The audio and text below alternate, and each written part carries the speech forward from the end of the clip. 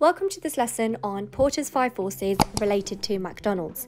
In this lesson, we'll have a look at the four factors affecting McDonald's, starting off with power of suppliers. McDonald's has a low power of suppliers. This is due to their typically unskilled low income earners. They also have low switching costs as raw materials are beef and potatoes rather than the more complex components. The fast food restaurants also make bulk items, making their power of suppliers quite low. There are several ways suppliers can exercise pressure on buyers. They can raise prices, lower the quality of supplied materials, reduce their availability. That can be disruptive for normal business operations for several reasons. Price uncertainty results in an uncertain cost structure. How are we going to build long term relationships with clients if we continue to raise prices because of constant pressure from suppliers?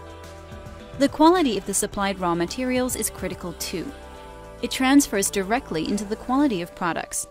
The moment customers notice we use low quality materials, their perception of the entire brand will change. Availability impacts our production cycle.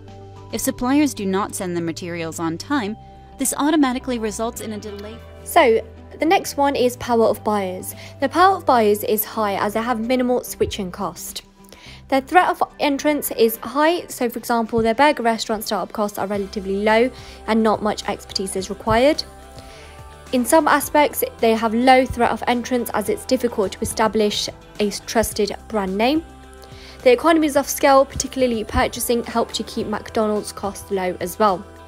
The threat of substitutes medium as they're more upmarket burger restaurants, for example, Fat Burger, Five Guys gaining ground in some time locations, and also high as people are looking to more healthy options.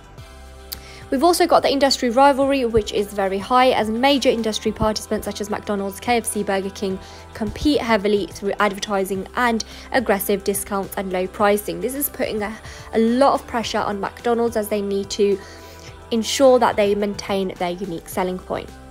So, if you have any other topics in mind that you would like me to cover, then drop it in the comments below. Thank you for watching.